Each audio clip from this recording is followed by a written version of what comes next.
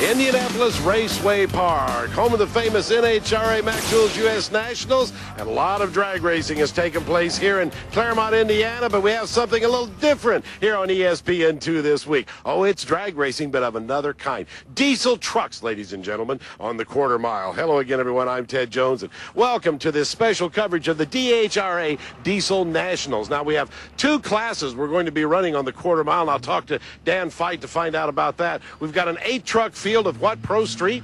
Our Pro Street Shootout guys, Ted. These are street legal trucks. Their only separation is by weight. 5,500 pounds for our uh, all motor class, 6,200 pounds. It's anything that they want to inject, they can, whether it's nitrous, propane, or even water. So. All right, and then we have a street category, and those guys are warming up out there right now with some time runs. Correct. We've got our ET bracket class. We do that at 14 racetracks across the U.S. that are running the DHRA bracket racing, and they're here to, to be competing in that for, for the weekend. All right, now, something unusual, folks. Look right over here. There's dirt here at IRP. What's going on with this dirt, Dan? We're going to have some uh, sled pulling, are we? That's right, Ted. We did, we've done something a little different. From sitting in one spot, our fans and spectators can sit in one spot in the grandstand, see sled pulls in the afternoon, they can see drag racing in the morning and never have to leave the stands.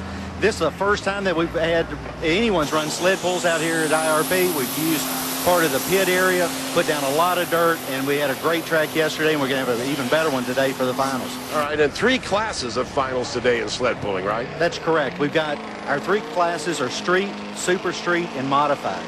Our street, even though our street class says street, the guys are making some modifications. There are some performance issues or some performance changes that have been made. You're also allowed a little bit of suspension, but they are limited on a single to a single turbo. Our Super Street guys can go to a dual turbo, but we do limit them on their size. A few more changes. And then we've got our pro guys, the modified guys, and that's anything that's out there.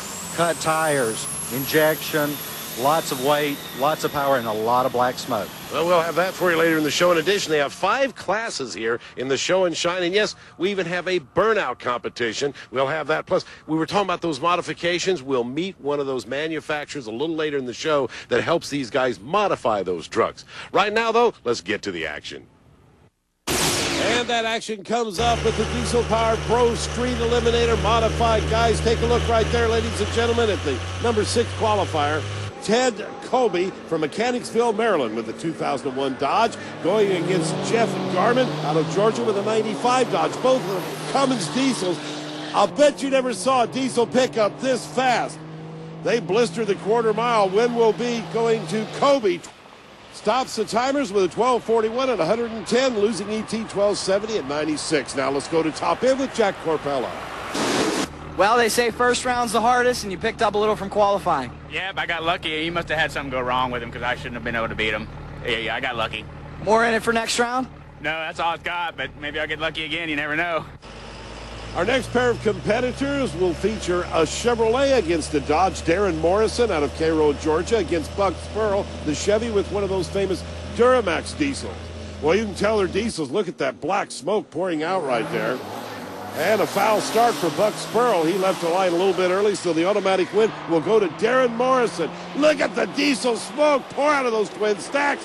1085, what an ET, 120 miles per hour. Let's go to top end. Well, a win's a win. I'm sure you'll take it any way you can get it. That's right, I will.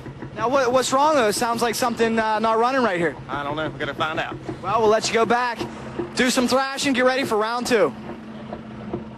Boy, that truck does not sound good. He may have some serious problems as we get a good look there at uh, Domingo Jimenez.